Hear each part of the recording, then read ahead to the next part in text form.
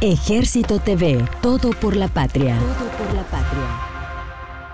El ejército de Nicaragua, consecuente con el lema Somos el pueblo mismo uniformado trabajando en su propio beneficio, a través de la Brigada de Infantería Mecanizada General Augusto Cesandino, el 27 de febrero de 2022 participó en la sofocación de incendio forestal en coordinación con el Estado Mayor de la Defensa Civil e instituciones del Estado, lográndose extinguir el fuego en un área de 25 hectáreas de bosque y pasto seco en una propiedad ubicada en el municipio de San Rafael del Sur, departamento de Managua. La rápida intervención de los efectivos militares evitó que el fuego se propagara y causara daños a otras propiedades. En cumplimiento de las misiones y tareas, todo por la patria, en defensa de la patria y la institución, firmeza y cohesión.